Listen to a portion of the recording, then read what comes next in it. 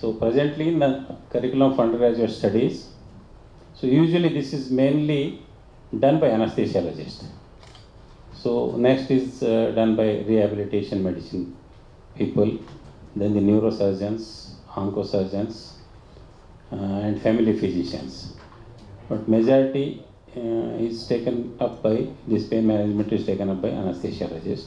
So when we think of uh, including uh, pain management in the curriculum, then we'll have to plan in including in the anesthesia syllabus.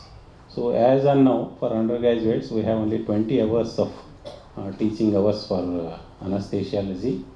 So as far as the pain manage- management is concerned, uh, the faculty present here are, the are of the opinion, the five hours uh, they can slot for uh, management of pain. So this if you want to include in the medical curriculum, we have to include at two levels.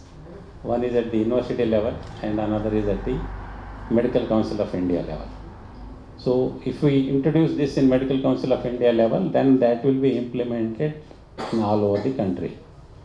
If you plan to implement this at uh, NTR University of Health Sciences level, then that will be implemented in, in the state of Andhra Pradesh.